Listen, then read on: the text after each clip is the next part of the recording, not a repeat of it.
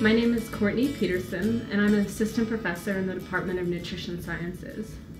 I got my PhD in physics, and along the way, I did a master's degree in science journalism. But then I got to the end of my physics PhD, and I realized a lot of the work I was doing wasn't going to directly help people. And I eventually stumbled upon nutrition and metabolism, which I'd always kind of been interested in, but never really pursued because I never thought about pursuing a research career didn't really know that was an option. So I ended up switching fields after I finished my PhD in physics into nutrition and metabolism. And I love it because I get to do research, so I love finding new things or making a large marginal impact with my work. And I like that I'm still in science, but at the same time, because I'm looking at questions relating to public health, I know the research that I can do down the line, maybe not immediately, but at least decades down the road, is going to hopefully help a lot of people.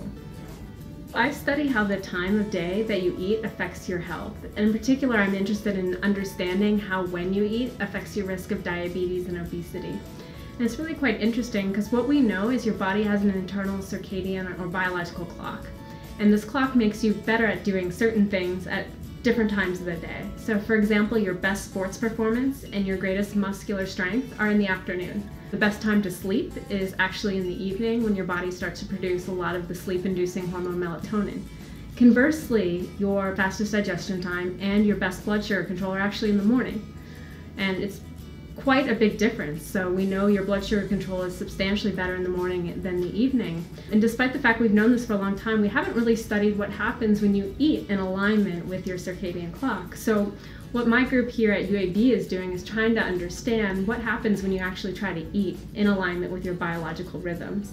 So I have two pilot studies that we're wrapping up in people where we take them and we have them eat all their food early in the day. What we're trying to see is if by eating in alignment with their circadian rhythms, whether we can improve their blood sugar control and also lower their risk of developing cardiovascular disease. Now, the interesting thing is by actually eating early in the day, you're not only eating in alignment with your biological clock, but you also are having a longer fasting period between dinner one day and breakfast the next. So my lab is trying to understand these, how these two different factors, the circadian clock and intermittent fasting, can be used as a potential approach to help people lose weight and improve their blood sugar control.